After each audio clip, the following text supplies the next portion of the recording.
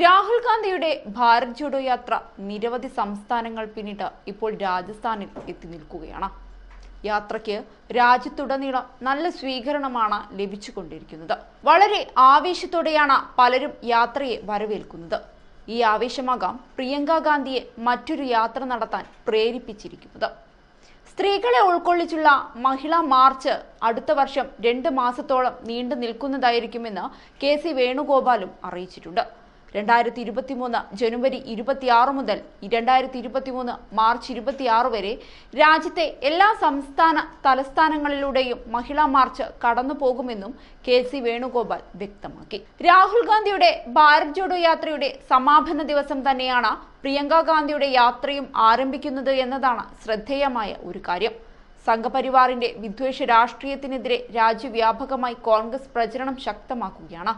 ഒപ്പം കോൺഗ്രസിന്റെ അടിത്തറ വിപുലപ്പെടുത്തുക എന്നതും ലക്ഷ്യം വെക്കുന്നുണ്ട് ഇതിന്റെ ഭാഗമായാണ് രാഹുൽ ഗാന്ധിക്ക് പിന്നാലെ പ്രിയങ്ക ഗാന്ധിയും രാജ്യവ്യാപക യാത്ര സംഘടിപ്പിക്കുന്നത്.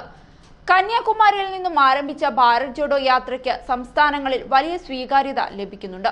കന്യാകുമാരി മുതൽ കശ്മീർ വരെ മൂവായിരത്തി എഴുന്നൂറ്റി അൻപത് കിലോമീറ്റർ ദൂരത്തിലാണ് രാഹുൽ ഗാന്ധിയും സംഘവും നടക്കുന്നത്. നൂറ്റി അൻപത്തി ഒന്ന് ദിവസം നീണ്ടു നിൽക്കുന്നതാണ് യാത്ര.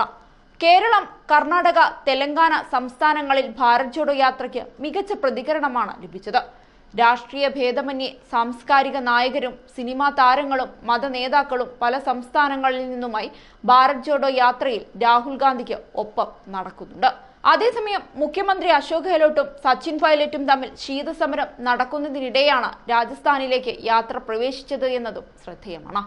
മധ്യപ്രദേശിൽ പന്ത്രണ്ട് ദിവസമാണ് ഭാരത് ജോഡോ യാത്ര പര്യടനം നടത്തിയത്. ഇവിടെയൊക്കെ രാഹുൽ ഗാന്ധി ഒരു സ്റ്റാറായി മാറുകയായിരുന്നു.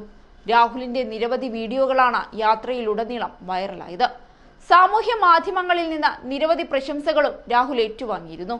ഇതെല്ലാം കണ്ടിട്ടാകാം പ്രിയങ്ക ഗാന്ധിക്കും ഇത്തരമൊരു യാത്ര സംഘടിപ്പിക്കാൻ പ്രേരണയായത്.